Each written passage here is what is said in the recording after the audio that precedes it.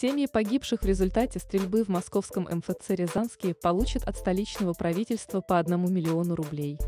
Об этом сообщается в четверг в постановлении правительства столицы, опубликованном на официальном сайте мэра и правительства Москвы.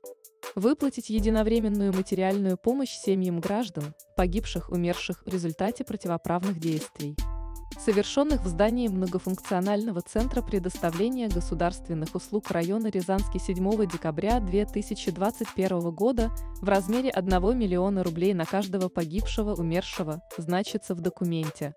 Пострадавшие и госпитализированные в результате стрельбы в московском МФЦ Рязанский получат по 500 тысячам рублей. Дети погибшего в результате стрельбы в МФЦ сотрудника будут получать ежемесячные выплаты.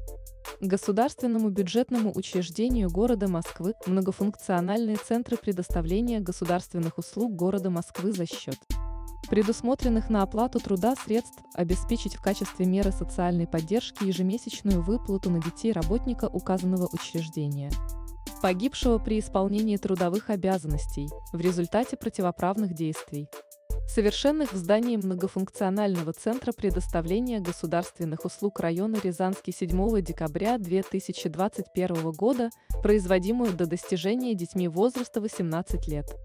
А в случае их обучения по очной форме обучения по основным образовательным программам в организациях, осуществляющих образовательную деятельность. До окончания ими такого обучения, но не дольше, чем до достижения ими возраста 23 лет, значится в документе.